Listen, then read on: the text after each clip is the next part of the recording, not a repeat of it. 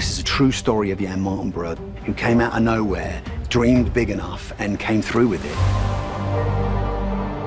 This is Jann Mardenborough, and he is a young British race car driver. My obsession as a child was to become a racing driver. He had no understanding of the racing world apart from a video game. I started playing Gran Turismo on the PlayStation. And then when I was 19, I remember seeing it on a normal TV advert, GT Academy, a chance to become a professional racing driver for Nissan. I didn't have any experience driving anything, and then eight months later, I'm driving this car at 140 miles an hour. He's sitting on a couch playing a video game, and he winds up becoming a great race car driver. But to have a film made about it, I never thought that was even possible. I think it's maybe the first film ever where there's a film being made about someone's life and they are stunt driving in the film. Arriving on set is very surreal.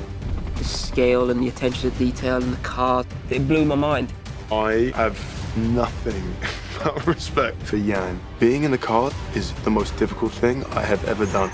Jann has this burning passion and desire to achieve more than what his circumstances were allowing. That is unbelievably inspiring. You ready to bring this home? Let's go.